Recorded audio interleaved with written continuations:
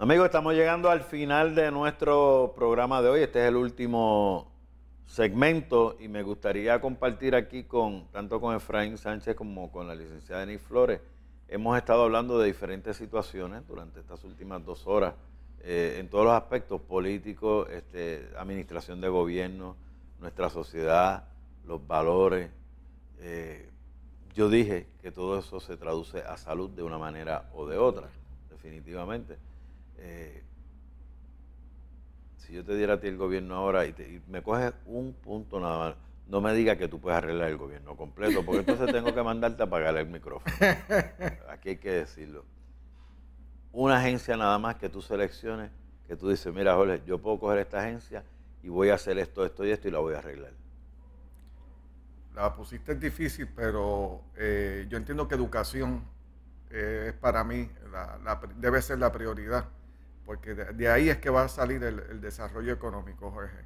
Y yo entiendo que eh, en, educación se puede hacer mucho. Ahora mismo hay mucho, mucha batata política. Eh, administrativamente, la administración se está comiendo los ingresos eh, que está recibiendo ahora mismo educación. Y sabemos que hay muchas formas como se puede mejorar la educación en Puerto Rico, inclusive se puede hasta privatizar eh, porque el costo ahora mismo por estudiante eh, es mayor que lo que eh, con respecto a la empresa privada. Sobre 8 mil dólares por estudiante de escuela pública, 5 mil en la escuela privada. Correcto, o sea que nada más con esos números, Jorge, nuestro problema en educación no es dinero, el problema en educación es que se ha politizado el Departamento de Educación.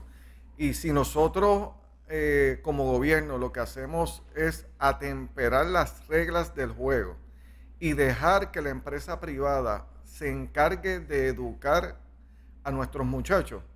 Yo entiendo que Puerto Rico tiene una oportunidad en esta economía global de salir airoso y de cara a futuro, de aquí a 5 o 7 años, nosotros tener un nuevo Puerto Rico y adaptado a las necesidades del mercado global. O sea, no adaptados a las necesidades solamente de Puerto Rico. Acuérdate que nuestro mercado son 3.5 millones de habitantes. Estamos hablando que en el globo terráqueo hay alrededor de 4 billones de habitantes.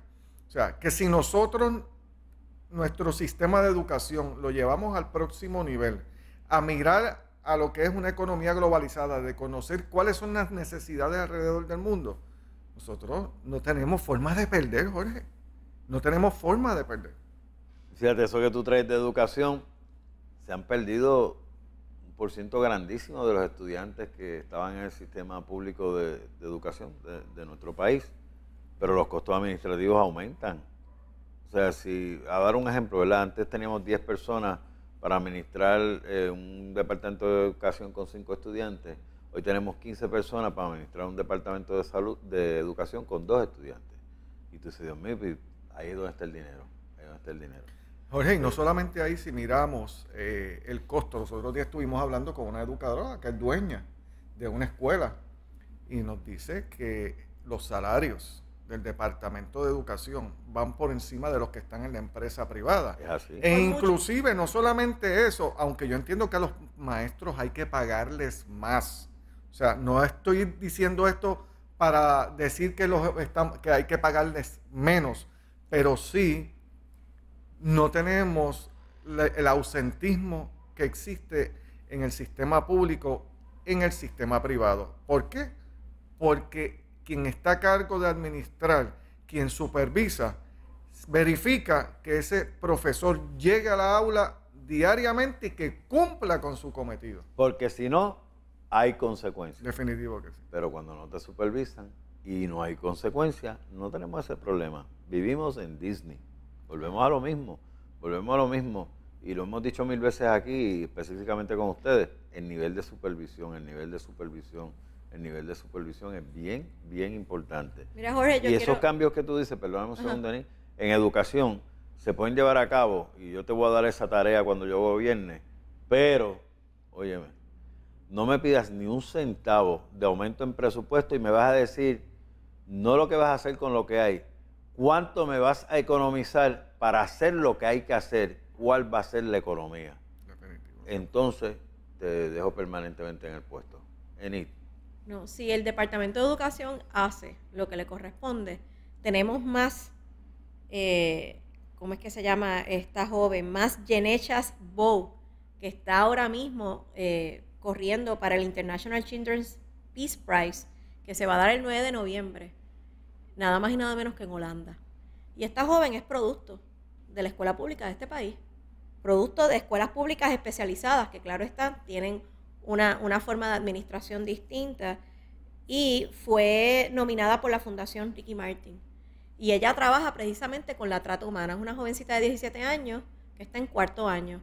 Y es que ella, a través de su clase de estudios sociales, se dio cuenta que aunque cuando dijera, y de historia, que aun cuando dijeran que eh, ya no existe la esclavitud, la trata humana es para ella la nueva esclavitud.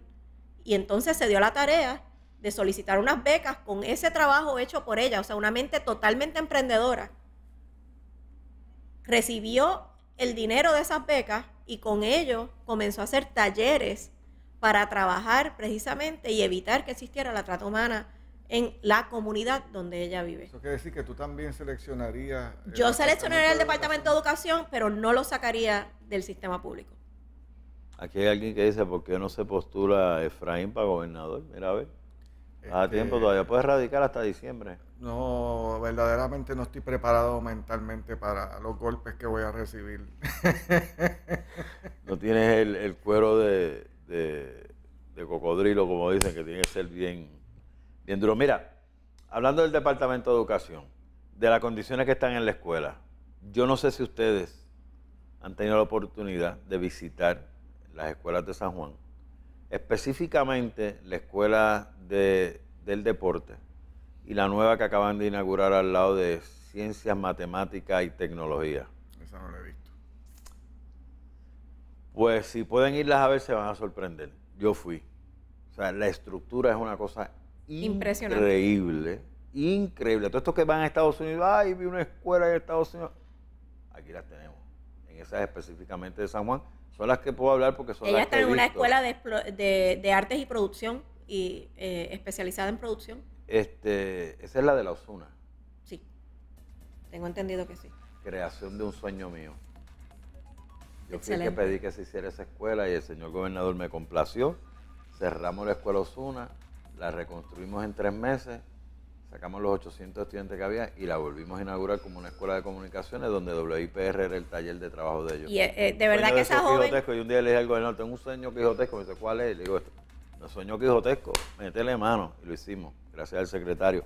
Pero quiero decirle que hay estas escuelas, como la, estas escuelas que le mencioné de, de San Juan, donde tú ves esos estudiantes hasta con corbata o sea, estás creando una cultura de responsabilidad para cuando salga el mundo real que tenga que trabajar. Orgullo. Orgullo. Orgullo. Valores.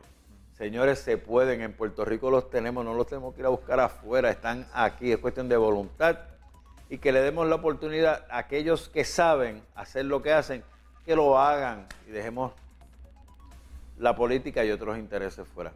Quiero agradecerle a ambos el haber estado con nosotros en esta mañana de hoy. Y a ustedes, amigos televidentes y radio escucha, por estar con nosotros.